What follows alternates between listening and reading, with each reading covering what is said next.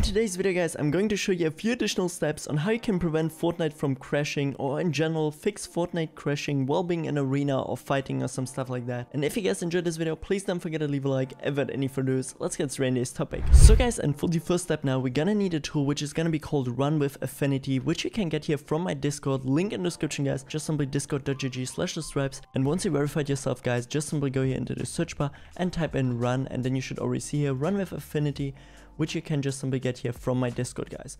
And once you get the program here on our PC, you're gonna extract it here with WinRAR or some other tool, open it up guys, and in there should be an exe which we're going to run now. And what we can do in here guys is select a program, which we're going to do, and now we're basically here on our PC, we're gonna go into our local hard drive, see where we have like Fortnite installed, program files, Epic Games, Fortnite, Fortnite game, binaries, Windows 64, and there we're going to select our Fortnite Windows 64 shipping exe and once we're in here guys we want to make sure to put our selected affinity to the maximum which is available on our PC. For me my CPU has 8 cores and 16 threads so therefore my maximum affinity is actually 16 here. And what this does basically it's gonna make sure that all of your CPU cores and threads are gonna get focused towards running Fortnite. And what we're now going to do is go here as well onto run and put it onto maximize and now we're gonna create a shortcut. And now every time we actually launch Fortnite above this shortcut guys, our CPU is gonna get prioritized to run Fortnite in the background. We by the way don't need this program anymore. I mean you can theoretically also use it for other games but yeah, once you're done with it you can just simply delete it and then you have here already your exe over which you're gonna start Fortnite from now on. I by the way I also just uploaded arena video so please make sure to check it out afterwards. In this next step guys we're gonna go here back now into our file explorer and click onto local disk C. Then we're gonna go here again into program files, Epic Games, Fortnite, Fortnite game, binaries, Windows 64, and there we now see easy anti-cheat guys. And for so many people the anti-cheat is the reason why their Fortnite is crashing. So therefore what we're gonna do is click here onto easy anti-cheat setup guys, click onto it, click onto yes, then we're gonna wait a little bit and then should pop up here easy anti-cheat service setup. Then we can see current game 217 which is Fortnite and we're just simply gonna click now onto repair service and you can see uninstall, installing and now installed successfully which means that our anti-cheat got completely reinstalled and once we now actually go into our Epic Games launcher, you will see it's gonna load a little bit longer since the anti-cheat now got repaired, which means that our Fortnite should be running now.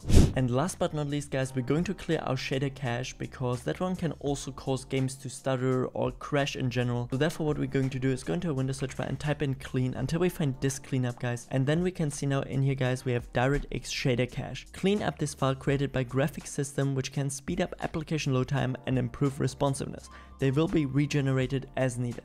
So let's just say as an example that we have errors in here or some corrupted files. This can actually cause our games to stutter, freeze or crash in the worst case. So therefore what you want to do guys is just make sure that it's selected, click onto OK and delete all your files and the next time you actually launch Fortnite they're gonna get fully repaired. And if you guys in general need a tool which can help you to boost your FPS and actually reduce your input delay in any competitive games you guys wanna play and on top also help you to find the servers in your near with the least amount of latency, NoPing is your number one tool guys.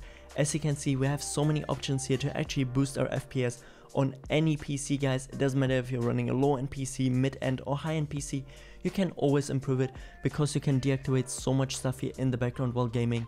On top of that, they also have this Turbo Games mode, which is going to help you to improve your keyboard responsiveness, therefore giving you the least amount of latency. And you can also search it now for Fortnite or even Valorant, any games you guys want to play, you know.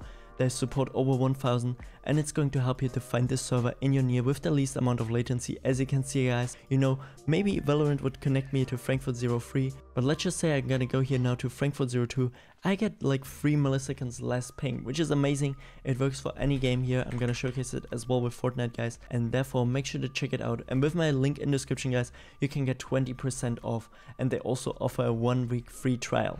And yeah guys, with that said, this is it for today's video. If you enjoyed it, please don't forget to leave a like and subscribe to my channel, this would help me so so much. And if you still have any more questions, feel free to ask me them down in the comment section below. I try to answer as many as possible. And with that said, have a great day, have a great night whenever you're watching this. And until next time, stay awesome. I'm out. Peace.